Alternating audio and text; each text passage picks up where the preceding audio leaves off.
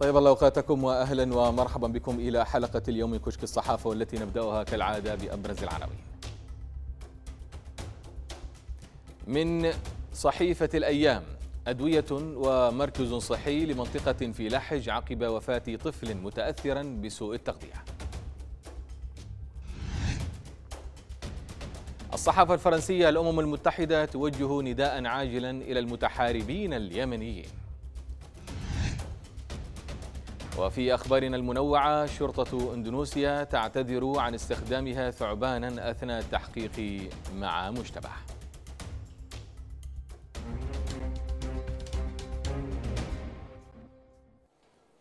أهلا بكم.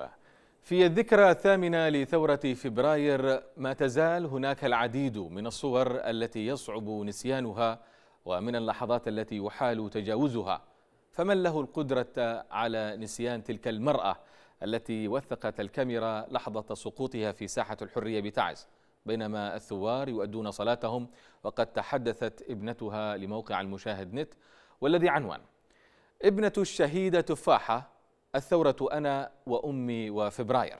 تقول إسراء الطيب ابنة الشهيدة تفاحة العنتري بوجود أمي كنت طفلة وبرحيلها كبرت عشرين عاماً. سقطت تفاحة جراء وقوع قذيفة على فندق المجيدي في ساحة الحرية بتعز يوم الجمعة الحادي عشر من نوفمبر 2011 وتروي إسراء تفاصيل رحيل والدتها بالقول. في صباح تلك الجمعة اتصلت اتصلت بأمي وأثناء الحديث معها فجأة أسمع القذيفة والصراخ وأصوات التكبير وكل شيء هناك. مباشرة اتجهت للساحة أبحث عن أمي بين النساء. لم أجدها بقيت أسأل عنها وتأتي أجوبة متعددة. قد تكون ذهبت مع الجريحات وآخر يقول ربما جرحت. في النهاية ذهبت إلى المستشفى وصلت وصلت باب طوارئ النساء وعرفت أنها هناك. تمنيت رؤيتها لكن الطبيب منع ذلك. ظلت إسراء أمام باب الغرفة وهي على يقين بأن والدتها قد توفيت ولم تمر سوى دقائق حتى أخبروها أن والدتها توفيت بالفعل. أكملت إسراء دراستها الجامعية وتزوجت وصارت أما لطفلة لكنها تقول عشت كل أفراحي بمفردي لذا كانت أفراحي ناقصة وكل يوم كان يمر وكل ساعة أكبر فيها يزداد احتياجي لأمي فقط أمي التي تسكن داخلي أسمع صوتها وألتمس وجودها رغم بعد الجميع هي لا تبتعد أبدا عن وجداني. لم يحن وقت المغالطات التاريخية عن ثورة فبراير. تحت هذا العنوان كتب عبد الله السامعي مقاله المشهور في موقع يمن مونيتور مضيفا. عندما رأى صالح اليمنيين بمن فيهم أنصاره يرسمون إطار الدولة اليمنية الحديثة والتي بكل تأكيد لن تقبل رئيسا لها مهما كان الأمر. جن جنونه وقرر اللجوء لآخر أوراقه وهي الورقة العسكرية. لأنه لا يوجد طريقة أخرى لإفشال مؤتمر الحوار الوطني طالما والجميع شاركوا في صناعة مخرجاته. ورغم خطورة الخيار العسكري إلا أنه كان آخر الخيارات المتاحة لصالح فهو لا يريد استفتاء على الدستور ولا يريد قيام الدولة الجديدة أساساً. وكان يعلم أن أي تأخير في استخدام الورقة العسكرية قد يفقده السيطرة على جيشه الذي بناه طيلة فترة حكمه. لأن قيام دولة جديدة يعني أيضا تشكيل مؤسسة عسكرية جديدة.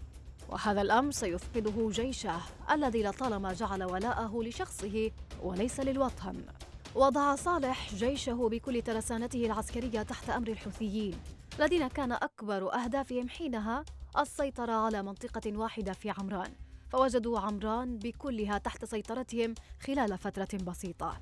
دفع صالح الحوثيين للتوجه نحو صنعاء. وكانوا خائفين من تلك الخطوة إلا أنه عززهم بالجنود. بعد أن استبدلوا زيهم العسكري وكثف اتصالاته بقبائل محيط صنعاء لإقناعهم بعدم اعتراض الحوثيين. كما أنه كان يخشى أن يتراجع الحوثيون عن هذه الخطوة وسخر منهم ليستفزهم على مواصلة تقدمهم للسيطرة على العاصمة. مش حاربي ورقودي؟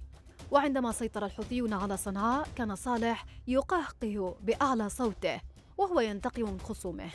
وبعد تراكم الأحداث واندلاع الحرب أعلن صالح بشكل مباشر شراكته مع الحوثيين ومنحهم كل مقدراته العسكرية والمدنية ولم يترك لنفسه إلا القليل ظنا منه أنه لن يفقد سيطرته على ما منحه للحوثيين. فاستغل الحوثيون ذلك واستبدلوا أنصار صالح بأتباعهم في المؤسسات المهمة. وعندما وصلت اعتداءات الحوثيين وإهاناتهم إلى أقرب الناس لصالح قرر أخيرا أن يواجههم. فكان أحد ضحايا هذه المعركة الأقصر بين كل معاركه مخازن الجيش الذي منحها صالح لميليشيا الحوثي لم تنتهي بعد وكلما تقدمت المعركة كلما كشفت عن مخازن جديدة. ففي معركة حجور تم العثور على مخزن وفقا لموقع الصحونت حجة قبائل حجور تنتزع مواقع استراتيجية من الحوثيين وتعثر على مخزن أسلحة. وفقا للموقع فقد تمكنت قبائل حجور بمحافظة حجة من السيطرة على عدة مواقع استراتيجية بمديرية كشر ودحر الميليشيات الحوثية منها إثر هجوم شنته القبائل تكبدت فيه الميليشيات خسائر كبيرة. وأشارت المصادر إلى أن القبائل عثروا في موقع القيم الاستراتيجي على مخازن أسلحة كانت الميليشيات كدستها في منازل عدد من عناصرها. وأحرزت قبائل حجور خلال اليومين الماضيين انتصارات كبيرة ضد الميليشيات. وتحولت خلالها معادلة الحرب التي جعلت الميليشيات في حالة دفاع وانكسار متواصل بينما تواصل القبائل هجماتها ضد الحوثيين الذين سقط منهم العشرات من قتيل وجريح وأسير.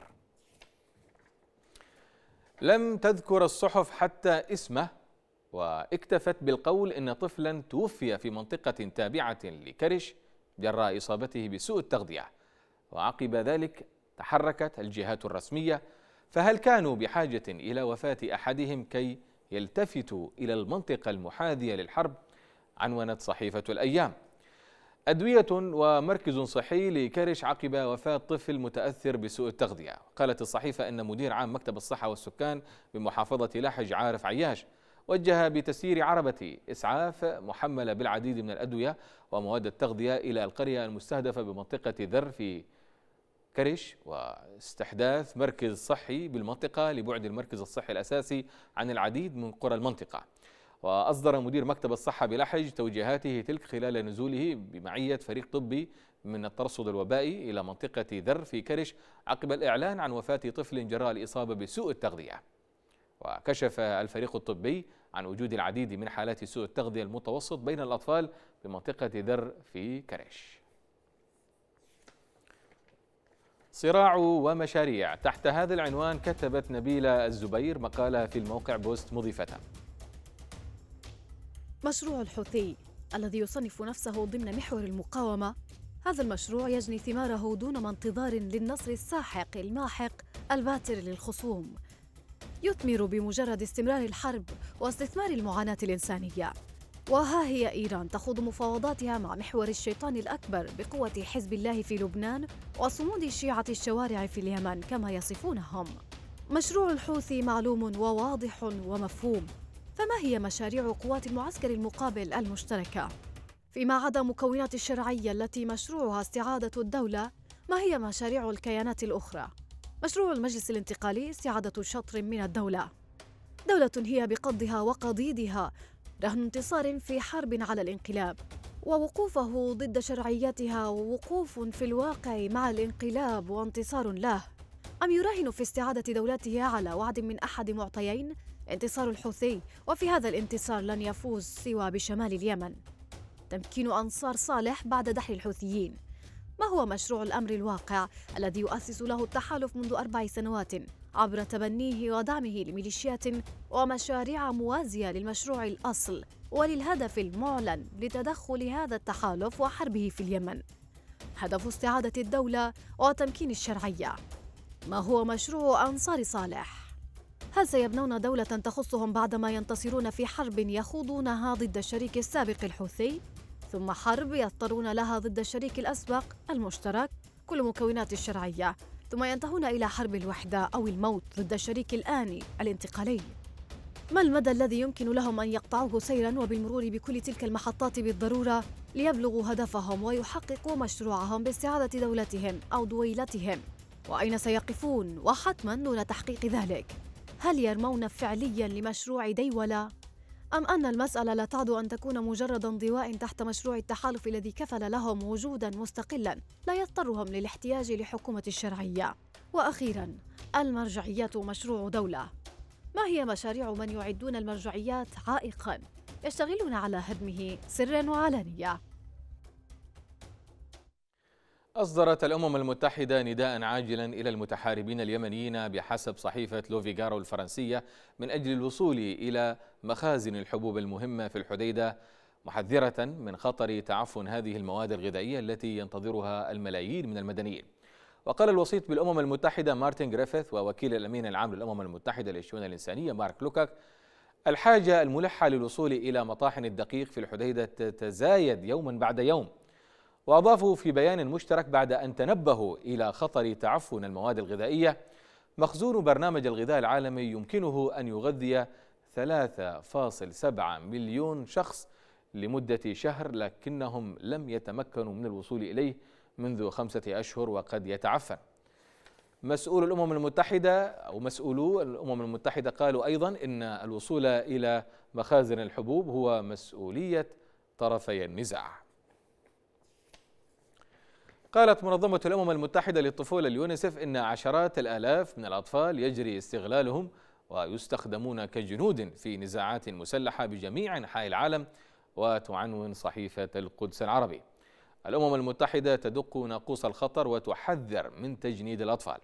وطبقا لتقرير الأمم المتحدة يجري تجنيد الأطفال الذين يعيشون في المناطق المحيطة بالصراعات المستمرة منذ فترة طويلة في جنوب السودان وجمهورية أفريقيا الوسطى والصومال وسوريا واليمن من قبل أطراف متصارعة في أعمال العنف. وإلى جانب الإجبار على القتال يجبر الأطفال أيضا على العمل في طهي الطعام أو جمع الأخشاب وهناك فتيات يجبرن على الزواج من المقاتلين بينما يتعرض الأولاد والبنات على حد سواء للإيذاء الجنسي. ومن الصعب تحديد أرقام دقيقة لكن التقديرات التي ذكرتها اليونسف تقول إن هناك ما يصل إلى 250 ألف طفل مجند حول العالم. من ينتشلنا من هذا الظلام الدامس؟ تحت هذا العنوان كتب توفيق رباحي مقاله المنشور في القدس العربية هي ثلاثة نماذج سياسية لكنها معبرة عن حالة عامة. والأهم أنها كفيلة بقتل الناس يأسا وإحباطا في العالم العربي هذه الأيام. عمر البشير في السودان عبد العزيز بوتفليقة في الجزائر وعبد الفتاح السيسي في مصر. يشترك الثلاثة في الكم الهائل من الخفاقات التي جلبوها لبلدانهم وفي حبهم الشديد للسلطة وتمسكهم بها. تحت شعارات الاستقرار والاستمرارية والأخطار الخارجية رغم أن البلدان الثلاثة ذاهبة بخطى ثابتة نحو المجهول. إذا أضفنا النماذج الثلاثة أعلاه إلى ليبيا وسوريا واليمن وأزمات الأردن والمغرب والفلسطينيين المزمنة وأوجاع الخليج التي لا شفاء منها سنكون أمام لوحة لنكسة جديرة بالقرون الوسطى. بينما يسير العالم من الصين إلى أمريكا مسابقا الزمن نحو التقدم بكل أنواعه. أصل البلاء سياسي لأن الحكام يصلون إلى كراسي الحكم غالبا عن طريق الصدف والدسائس وعندما يستلمون الحكم أو يستولون عليه يجدون أنفسهم بلا كفاءة ومن دون برامج ومن دون خطط اقتصادية وعلمية. وبعد أن يثبتوا في الحكم ويطول بهم الزمن يتكون لديهم إيمان بأنهم الأفضل لحكم البلد والأجدر بذلك وما دونهم خليط من الفاشلين والخونة والمتآمرين. ولهذا يبدو مصطلح ثورة قليلا ومتأخرا في الأوضاع المزرية التي تعيشها منطقتنا هذه. ثورة لن تكفيها لأنها أصبحت بحاجة إلى معجزة متعددة الأوجه لتنقذها مما هي فيه. إذا لم تتعلم الأنظمة الحاكمة من تجارب الآخرين القريبة والبعيدة فعليها أن تستعد ليوم الانفجار الأكبر. قد يتقدم أو يتأخر قليلا لكنه حتما قادم وثمنه سيكون باهظا. السبب واضح وهو أن الأصوات التي لا تتوقف عن التطبيل للحاكم مضللة وليست هي الأصل وليست الأغلبية ناهيك عن أنها بطبيعتها قابلة للتقلب 180 درجة ما أن يقترب هذا الحاكم من السقوط لتضع نفسها تحت تصرف الحاكم المقبل. قال متحدث باسم شرطة إقليم بابويا الإندونيسي إن الشرطة اعتذرت بعدم استخدام استخدام المحققين ثعبانا أثناء محاولتهم الحصول على اعترافات من شخص يشتبه في أنه لص للهواتف الجوالة وعنونت صحيفة الشرق الأوسط.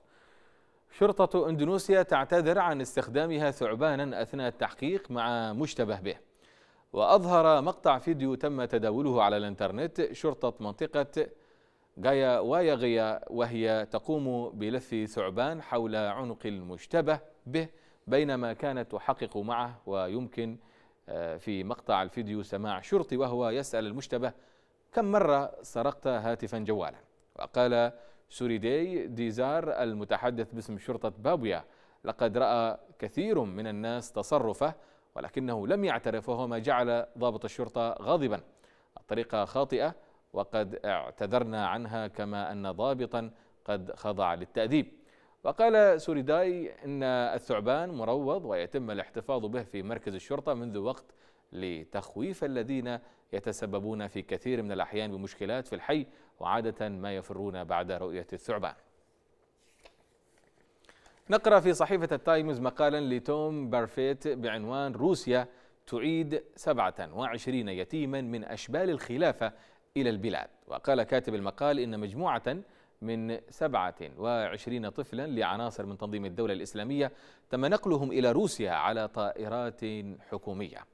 وأضاف أن الأطفال الذين تتراوح أعمارهم بين أربعة إلى 13 عاما كانوا يعيشون مع أمهاتهم في سجن بغداد ويعيشون حالة من الصدمة جراء ظروف الحرب الدائرة هناك كما أن الكثيرين منهم فقدوا آبائهم جراء القتال. وأضاف أنه سيتم تسليم هؤلاء الأطفال لأقاربهم أو ستتبناهم عائلات تم اختيارها مسبقا وأن الكثير من هؤلاء الأطفال يعتقد أنهم من شمال كاكوس في جنوبي روسيا حيث يعتقد أن 4500 شخص غادروها إلى سوريا والعراق خلال السنوات الماضية. وأشار إلى أن الرجال الذين غادروا روسيا للمشاركة في الحرب الدائرة في سوريا والعراق اصطحبوا معهم زوجاتهم وأولادهم كما أن البعض من أطفالهم ولدوا في ظل حكم تنظيم الدولة. ونقل كاتب المقال عن آه، سكرينيسكا مديرة مركز التحليل الأزمات قولها إن الحكومات الأوروبية بدأت تفكر في إمكانية استعادة هؤلاء الأطفال إلا أنه ينظر إلى هؤلاء في الغالب على أنهم تهديد أمني أكثر من كونهم ضحايا. وختمت أنه في حال تركنا الأطفال للروس في دار الأيتام في الشرق الأوسط وفي السجون فإنهم سيصبحون أشخاصا غاضبين ومحبطين من روسيا. تلتقط تلتقط عدسات كاميرا المحترفين في صحيفة الديلي تليجراف صورا ساحرة لحيوانات في الوقت المناسب وأخرى متنوعة نعرضها لكم في جولتنا المصورة لهذا اليوم.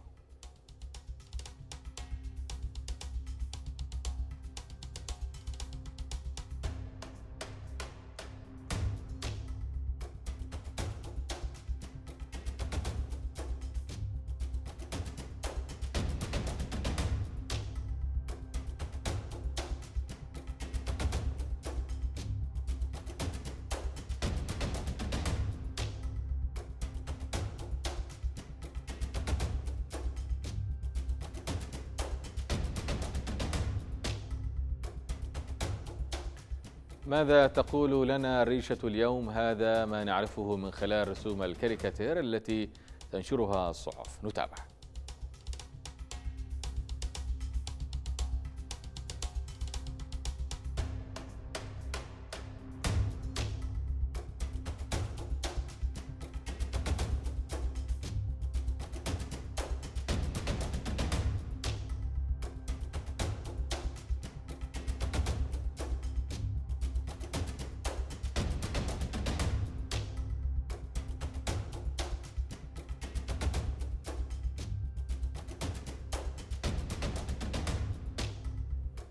بهذه الرسوم الكاريكاتورية المعبرة. نكون قد وصلنا وإياكم إلى ختام حلقتنا لهذا اليوم من كشك الصحافة. نشكركم على المتابعة وإلى اللقاء.